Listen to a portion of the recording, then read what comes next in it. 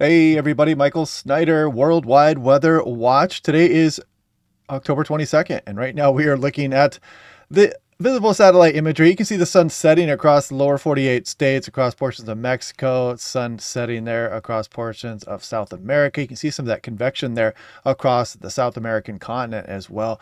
But also we got some shenanigans going on here across some of the tropics. And I'll be looking at that in a bit of detail. You might start to hear some chatter about what would possibly become Hurricane Melissa as we go through the next few days. We'll dive into some of those details here, but we're going to take some uh, looks across the rest of the planet here as well, including across the Western Pacific Ocean and the North Pacific Ocean, where we have the strongest jet stream on the planet right now. Extends all the way from Japan all the way out across Pacific Ocean. This is bringing some very active weather here into the Pacific Northwest over the next few days as well.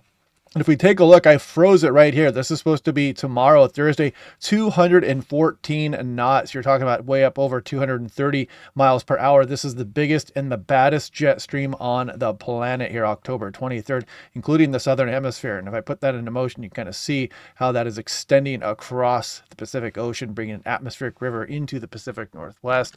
And if we take a look across the southern hemisphere, just to kind of do our due diligence, you can see that, yeah, that jet stream is the strongest on the planet planet right now. Now, some interesting stuff here with two meter temperature anomaly. You can still see we got some cooler weather there across portions of China, Mongolia out there. And look at just how warm we are across some of the North Pole. Some areas uh, right around 30 degrees above normal for this time of year. Look at some of this warmth moving up across out into over the Arctic Ocean.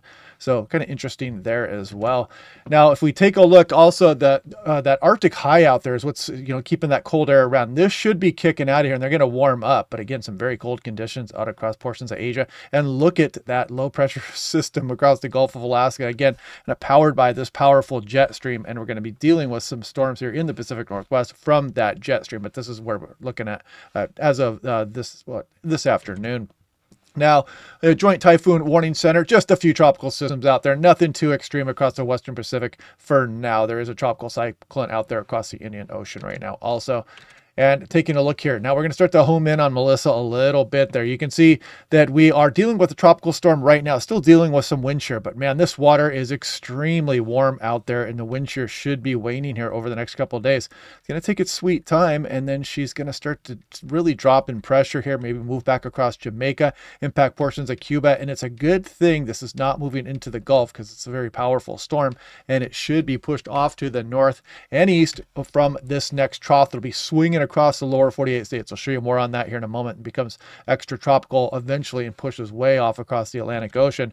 Now, this is the European model. That you can see all the ensembles here, and none of this right now shows any kind of impact for portions of the USA. I mean, maybe some passing impacts if one of these extremely Western uh, solutions were to arise. But for the most part, you know, this is Jamaica and portions of Cuba, then moving out.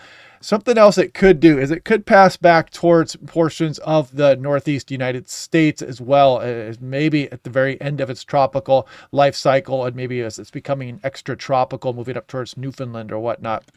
Now, if we take a look at what is going on here, this is the artificial intelligence model. So this is where Melissa will be developing. If I put this into motion, you notice that as Melissa develops, still got this ridge here, just enough to kind of keep it right near Jamaica there, and then it starts to push north. And this next trough really picks it up. It'll speed the system up, and that looks like it's going to keep it away from the lower 48 states of the United States. And most models do keep it away from, you know, Newfoundland as well.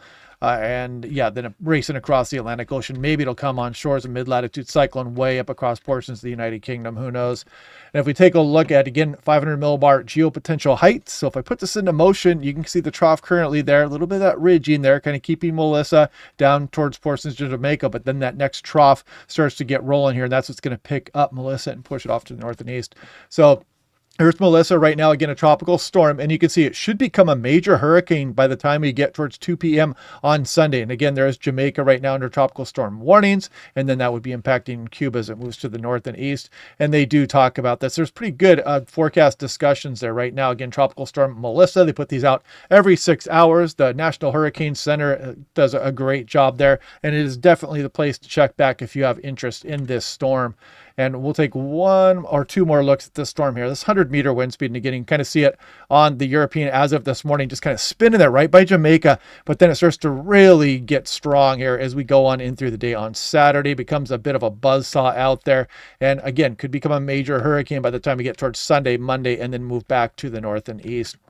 And you can see the oceanic temperature, again, just absolute bathwater out there, very warm, just ripe for tropical storm and then eventually hurricane development. So taking a look across uh, some of the Pacific Ocean as well, you can see the Western Pacific. This is typical. It's usually warmer, uh, almost always, than uh, what's going on across the Eastern Pacific. And you can see this cold tongue moving out there. Those are La Nina conditions across some of the equatorial Pacific Ocean. I'll probably be doing a separate video on that here over the next week or so as well.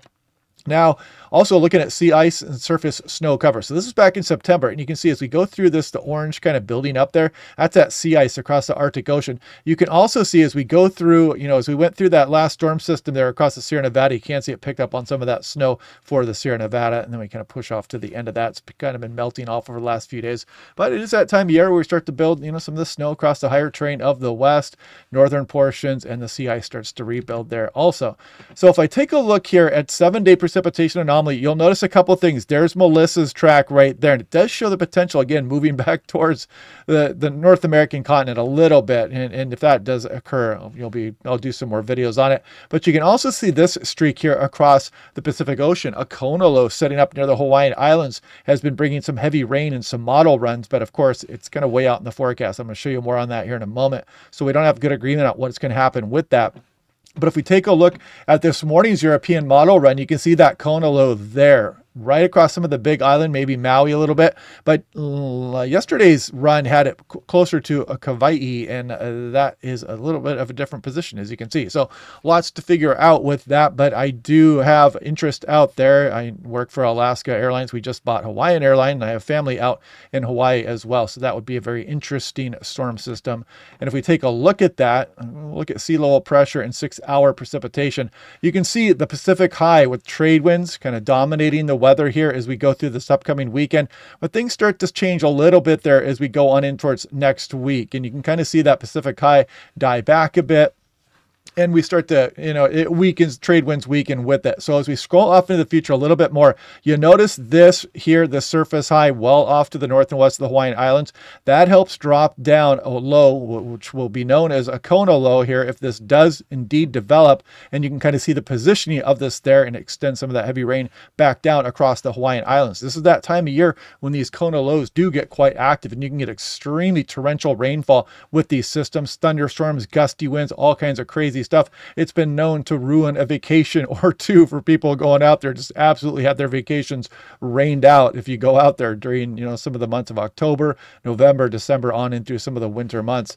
But yeah, interesting stuff there. I'll be watching that here over the next few days as well. So anyway, hope you guys are liking this. Let me know what else you'd like to see me cover here across the planet. I'll just try to pick out some fun or some impactful weather, and I'll try to do these maybe once or twice a week. We'll see how that goes. And uh, yeah, let me know what you guys think. Leave some comments below, and I'll talk talk to you guys later.